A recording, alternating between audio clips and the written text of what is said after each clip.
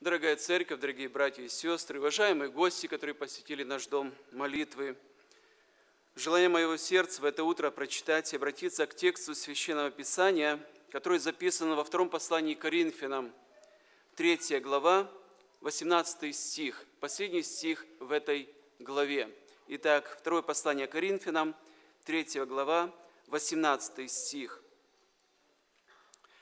«Мы же все открытым лицом, как в зеркале, взирая на славу Господню, преображаемся в тот же образ от славы в славы, как от Господня Духа.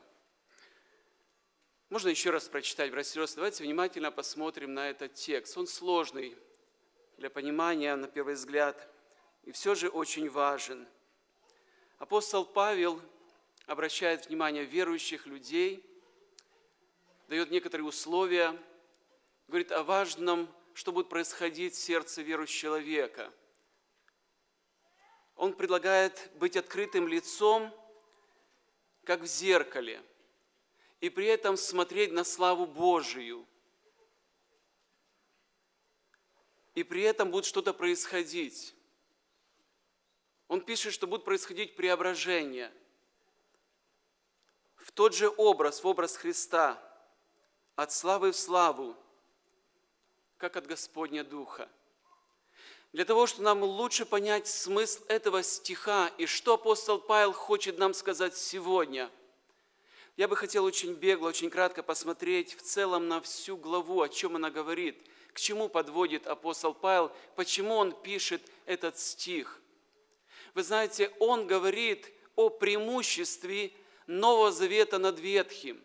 Он противопоставляет Новый Завет Ветхому Завету. И для этого он использует очень интересную, простую, доступную иллюстрацию, которую все мы хорошо знаем.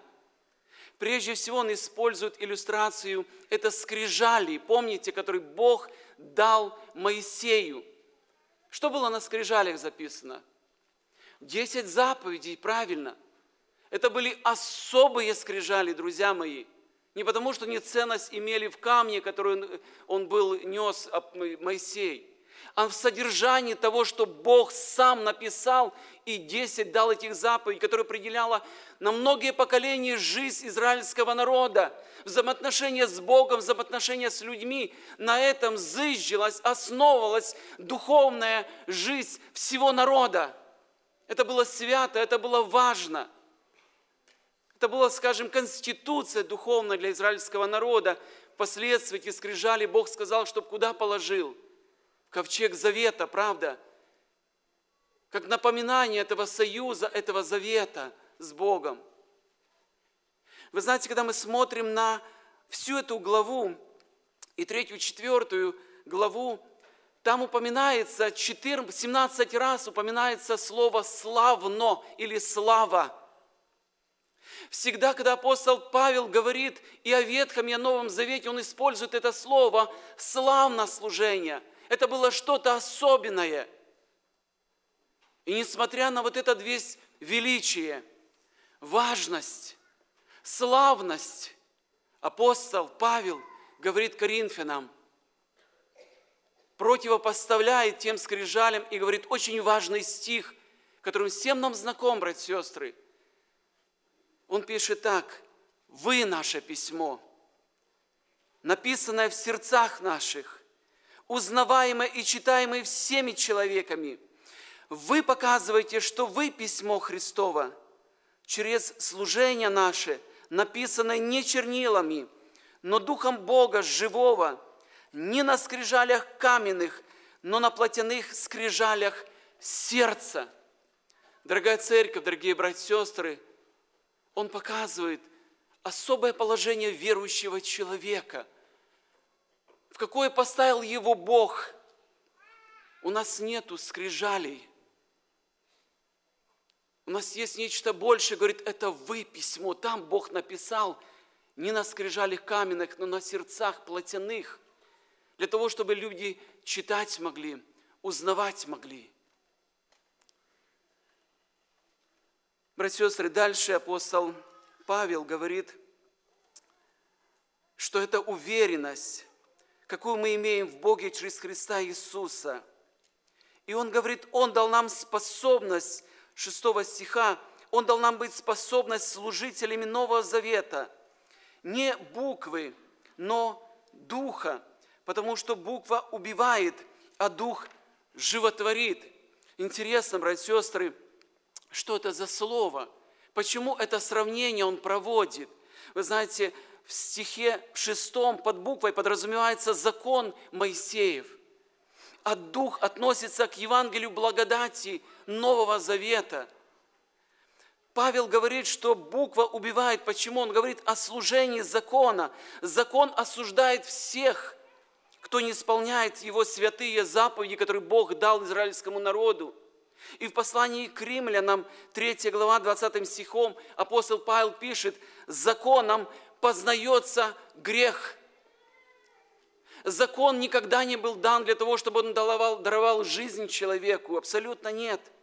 Он был предназначен для того, чтобы человек осознал грех и обличить человеческий грех.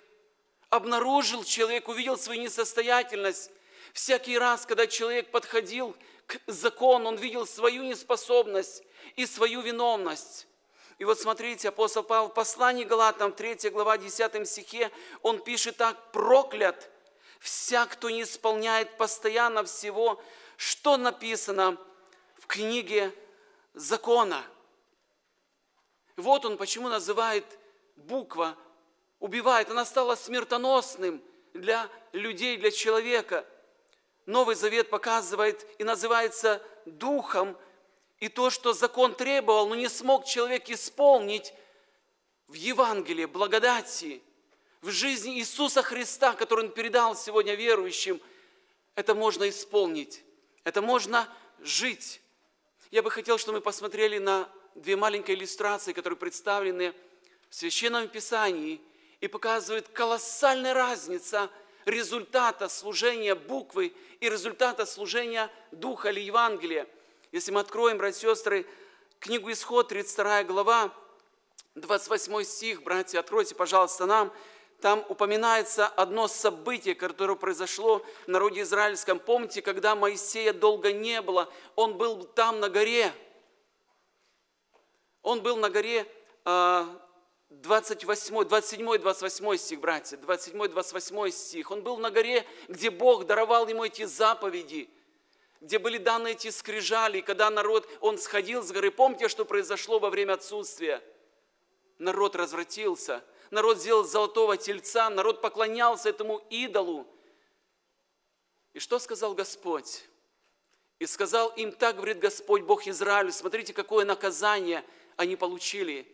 Возложите каждый свой меч на бедро свое, пройдите по стану от ворот до ворот и обратно, и убивайте каждый брата своего каждый друга своего, каждый ближнего своего.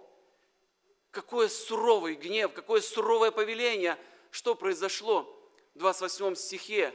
«И сделали сыны Левин, Левины по слову Моисея, и пало в тот день из народа около трех тысяч человек».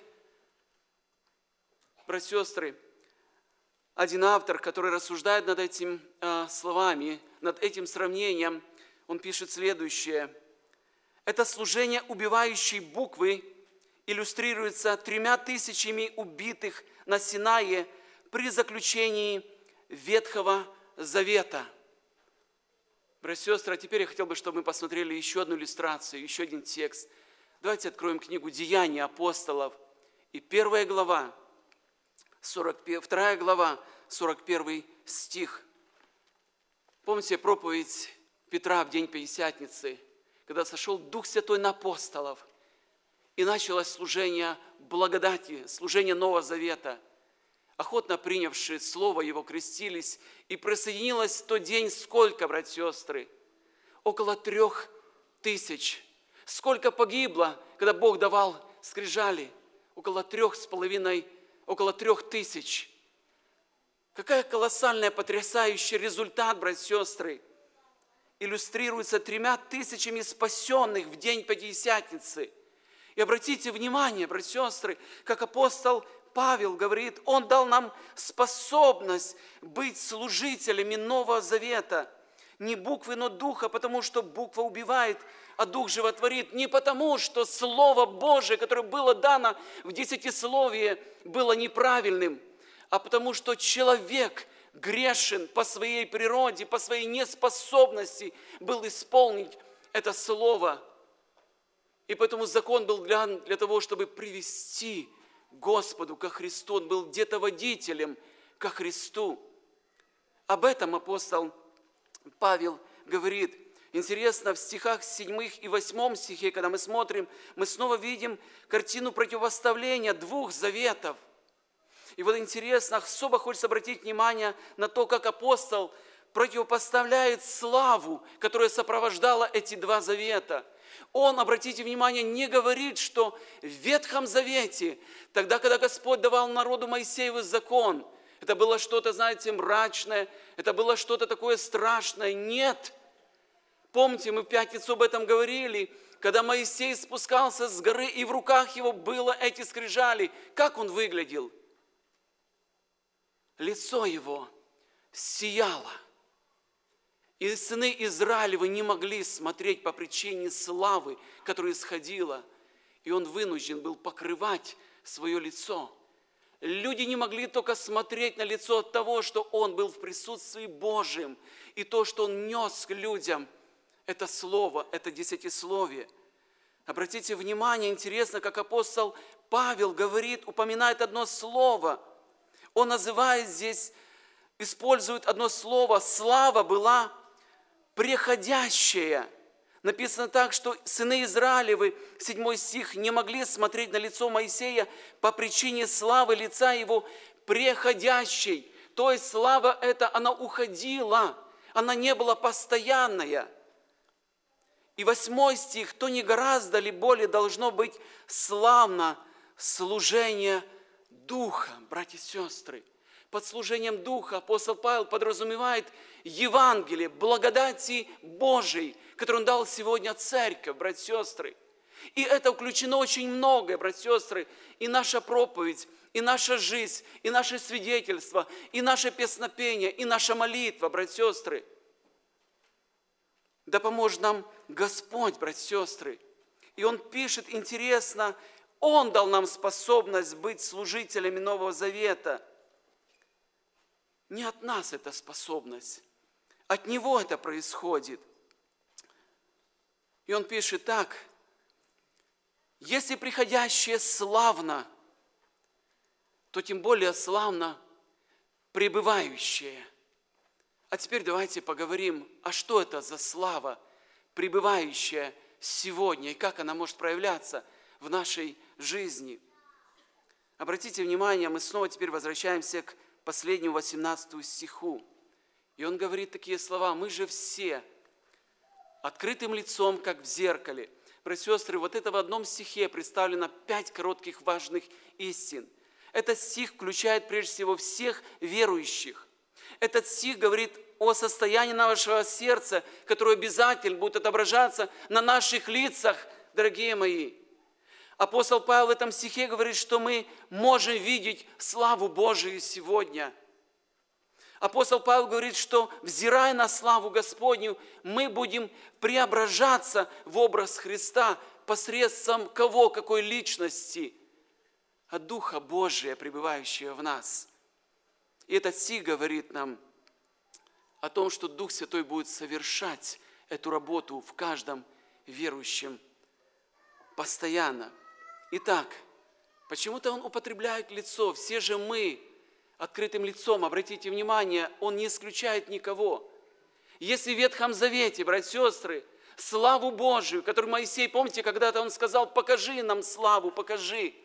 И Бог говорит, я проведу перед тобой славу мою, ты увидишь. То сегодня все верующие Нового Завета – все же мы, включено в абсолютно всех новообращенных, только Господу пришли.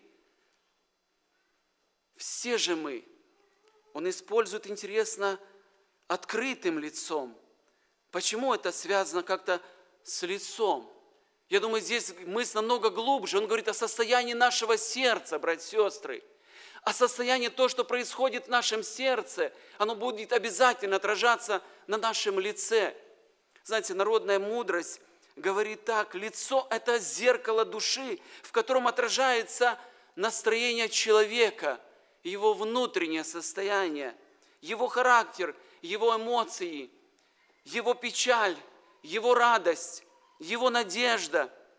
Братья и сестры, все мы встречаемся каждый день друг с другом, правда? И не трудно, мы знаем друг друга спросить, что случилось? Почему сегодня у тебя лицо грустное? Либо мы говорим, почему ты радостный такой? Я бы удивился, если Павел сегодня рассказывал стихотворение, его лицо было бы другим. Таким, знаете, серьезным, таким унылым. Правда, несоответствие какое-то должно быть. То, что происходит внутри нас. Я не говорю о том, что всегда должны радостные братья и сестры. Иногда мы передаем тоже нашу печаль и нашу скорбь тоже на лицах, и это естественно, братья и сестры. Это нормально, когда человек передает какое-то горе или печаль. Оно отображается на нашем лице. Книга «Бытие», помните, в жизни Каина произошло одно событие. Я не знаю, как он раньше испытывал свои отношения с Богом, какое у него было лицо, рад ли он был всегда вот общению. Я не знаю, но в жизни Каина было особое событие, особый день, когда Бог обратил внимание на его лицо. Когда мы читаем четвертую книгу «Бытие», пятый и шестой стих, обратите внимание, написано, Каин сильно огорчился, и поникло лицо его. И сказал Господь, почему, Каину, почему ты огорчился, и от чего поникло лицо твое? Конечно же, Бог знал об этом, правда? Он хотел Каина обратить внимание. Если делаешь доброе, то не понимаешь ли лица. А если не делаешь доброго, то у дверей грех лежит – Порой люди, чтобы скрыть свое истинное состояние сердца, что люди одевают, друзья мои? Маски. То, что в театре происходит. Чтобы скрыть истинное лицо, люди просто одевают маски. Может быть, улыбку натянутую, или так, чтобы не заметили. Знаете, в жизни Иакова тоже был день, когда он увидел лицо своего тестя Лавана. Иакова невозможно было обмануть, он хорошо понимал, был Божий человек. И за эти годы, когда он служил верно и трудился, он знал лицо этого человека. Обратите внимание, книга Бытие, 31 глава, 2 стихе написано, «И увидел Иаков лицо Лавана, и вот оно не таково к нему, как было вчера и третьего дня»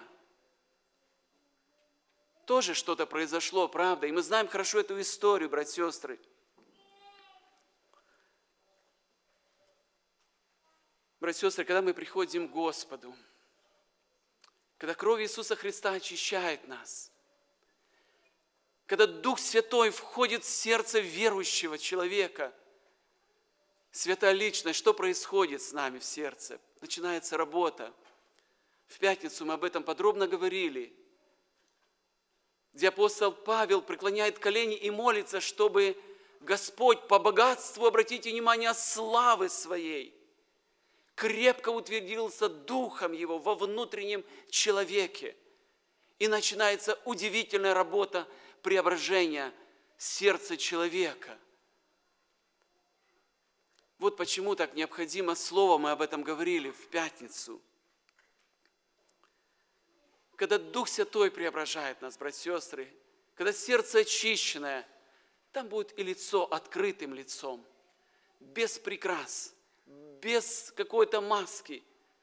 И так приятно видеть лица открытые, светлые, приветливые, добрые, поистине счастливые люди, братья и сестры. Это то, что хочет видеть нас Господь. Не искусственно, братья и сестры, а естественно, как результат благодати Божией. Братья и сестры, и в этом нам может помочь две вещи. Апостол Павел употребляет в этом стихе как в зеркале. Братья и сестры, не так, как мы хотим, а так, как в зеркале. Зеркало нам поможет. Дорогие друзья, что является в Священном Писании зеркалом? Прообраз чего зеркало служит? Слово Божие совершенно верно, братья и сестры. Слово Божие. Когда мы смотрим, давайте мы посмотрим книгу Иакова в первой главе, Помните, там с 22 стиха, если мы откроем эту книгу, удивительно, Иаков дает нам этот добрый совет преображения, как Слово Божие изменяет нас. Он пишет так, 22 стих, «Будьте же исполнителями Слова, а не слышателями только, обманывающих самих себя. Ибо кто слушает Слово и не исполняет, тот подобен человеку, рассматривающему природные черты лица своего в зеркале, он посмотрел на себя, отошел и тотчас забыл, каков он. Но кто вникнет в закон совершенный, закон свободы и прибудет в нем, тот, будучи не слушателем забытчивым, но исполнителем дела, блажен будет в своем действовании. Братья сестры, вот почему нам необходимо это зеркало. Оно нам покажет истинность моего характера, истинное состояние моего сердца, мою нужду, мою скрытость, мое коварство, мою гордыню, мое непрощение, все открывается. И тогда есть возможность, братья сестры, прийти и просить, Господи, преображай через Твое Слово, изменяй. Я хочу, чтобы лицо моего сердца и лицо внешнее, оно соответствовало этому. Следующее, о чем апостол Павел говорит в этом стихе, братья и сестры, это он очень важно. Он говорит, что мы не только все открытым лицом, как в зеркале, мы можем смотреть, взирать на что? На славу Господню. Братья сестры, что такое слава Господня?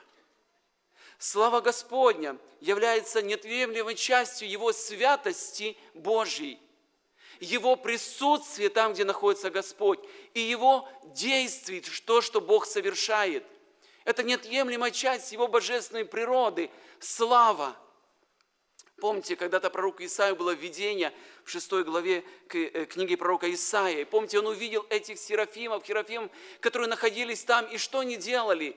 Они взывали «Свят, свят, свят Господь Саваоф, вся земля полна славы Его».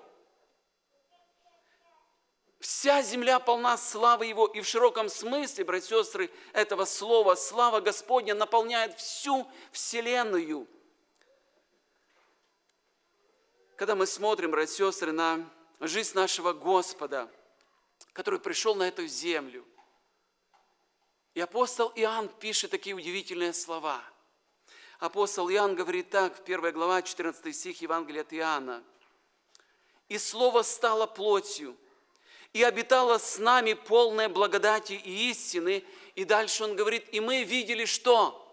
И видели славу Его, славу Его, как единородного от Отца. Дорогая церковь, братья и сестры, где апостолы видели славу Христа? Во всем видели. Видели в Его крещении, в Его рождении. Помните, когда Христос родился? И явились слава Господня вместе с ангелами, которые восклицали.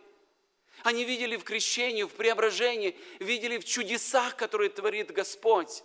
В этом было действительно, они видели, эта слава была явлена – Братья и сестры, а там, где есть слава, там есть результат, там есть выражение и проявление человека на эту славу, которая называется прославлением, поклонением Богу. И много раз мы встречаем в Священном Писании, когда Господь что-то совершал, прекрасное слово, и прославили Бога, и поклонились Богу.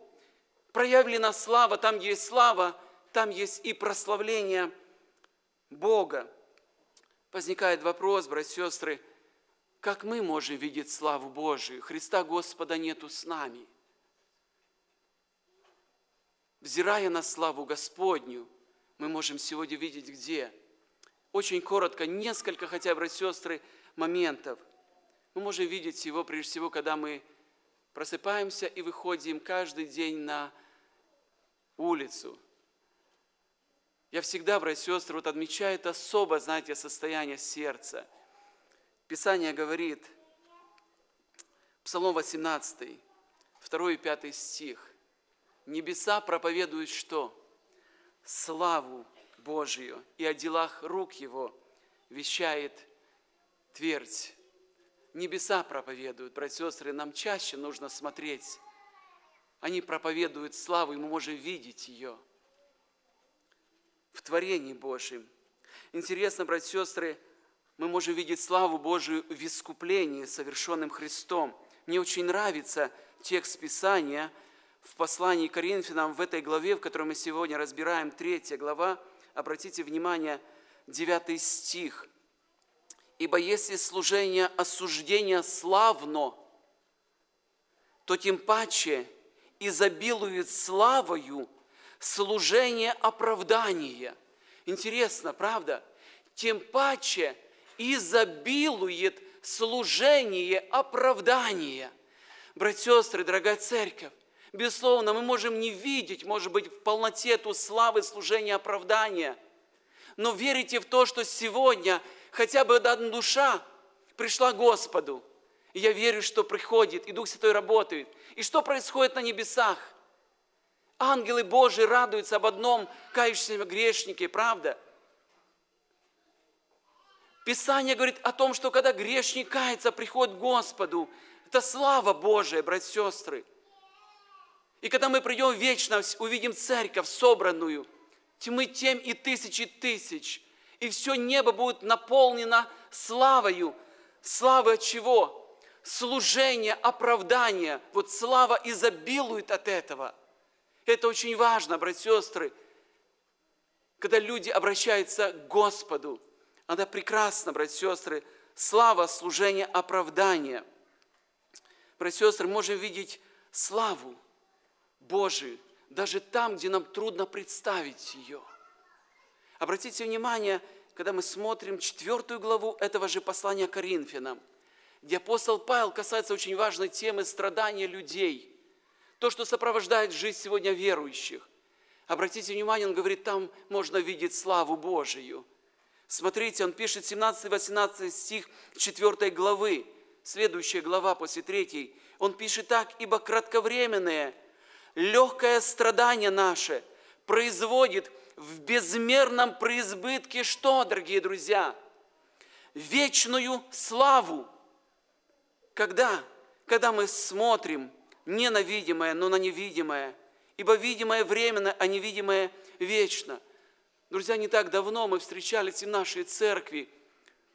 Мы молились за наших братьев, которые попали в аварию, которые были травмированы. И казалось бы, какая уж здесь слава. Но мы говорим, Господи, слава Тебе, правда? Потому что Ты ведешь, потому что руки Твои были, потому что Ты сохранил, потому что жизнь сохранил. Братья и сестры, когда уходят в вечность, наши близкие, наши братья и сестры – что мы говорим? Мы говорим, Господи, слава Тебе, что Ты принял душу, что Он у Тебя.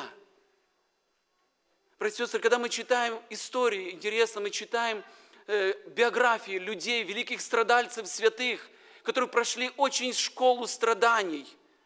Удивительно, вся эта биография наполнена славой и прославлением Господа. Эти люди прославляют Бога в своих страданиях удивительно, непонятно для нас. Эти называют легкие, кратковременные, но не производят при избытке вечную славу. Нам только нужно видеть ненавидимое, а на то вечное. Там, где есть слава Божия, братья и сестры, и мы ее можем видеть, там будет и прославление, там будет и результат нашего сердца – это чудесный процесс преображения, братья и сестры, когда мы правильно находимся в положении, как дети Божии.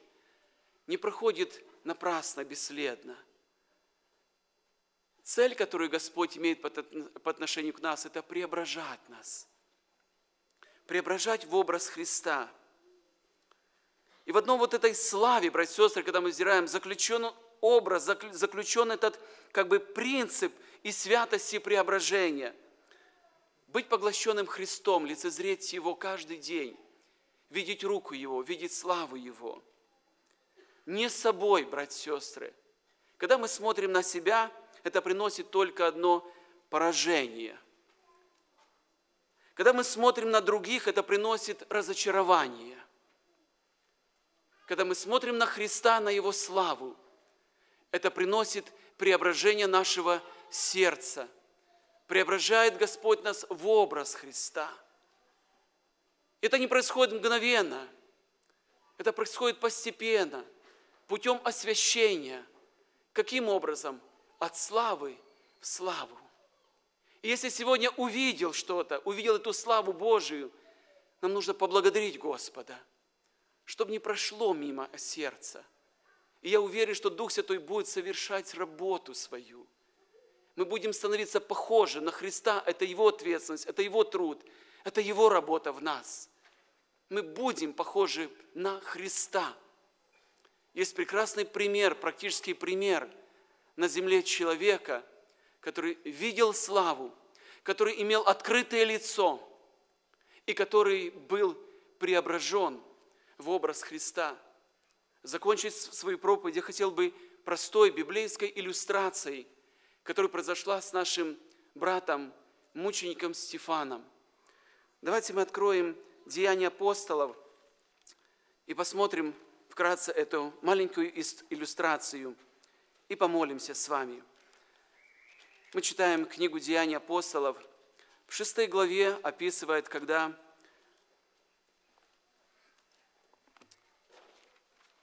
избрали семь служителей для того, чтобы они служили в церкви для нужды, восполнять нужды церкви. Один из них был Стефан.